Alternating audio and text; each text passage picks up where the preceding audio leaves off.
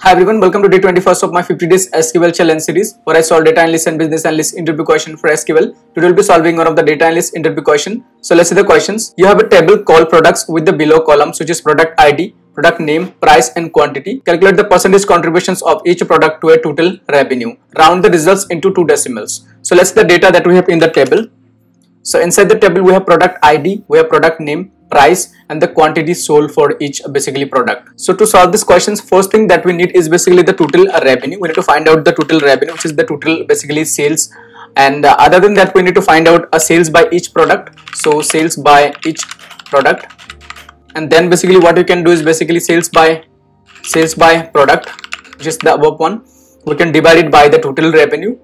And uh, we can multiply into 100 that is how basically we can find the basically that particular product contributions in the total revenue.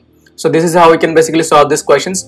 Now this total revenue we can use a subquery to basically get this a total revenue. So let's start writing our query to solve these questions. So first thing that we need is basically select sum of sale which is going to be a price times quantity. So inside i would say price price times quantity quantity quantity sold from this table which is going to be the products isn't it? So if I just run it I have the total revenue which is this one nineteen thousand four two six five zero right? So this is the revenue I get. So I can just make a note here. Let's say that total revenue. Now let's start writing our main query to basically solve these questions.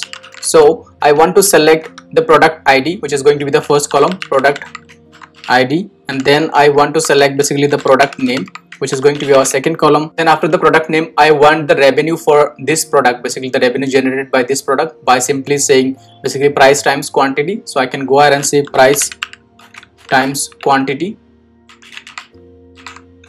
quantity sold and uh, as revenue. Okay this is going to be revenue by product so this is going to be revenue by product basically for this particular product because it is going to be in the same line. And then other than that I can just go ahead and say from the products. So let's just show you the data. So for if I just run this query I simply get the product ID product name and basically revenue generated by that particular product. Now we can add one more column here. And in this column we want to calculate the basically contributions of this up product. So how we can do it is basically simple. We can go ahead and say that we want this revenue for this product which is going to be this column and divided by the total basically uh, you know revenue which is going to be this uh, you know query. Now this query we can put inside a subquery. So this subquery is going to run first then it's going to return the total revenue and then basically we are dividing the you know sale by each product by the total revenue. That is how we are basically getting uh, the contributions right? So we can say as contributions right? So contributions by basically that particular product. In the same line we will have. Now we want to see the results in two decimal. So first let's run the query and let's see the results. Now you see each product and their contributions. We just need to multiply it with 100 to basically see the contributions in percentage.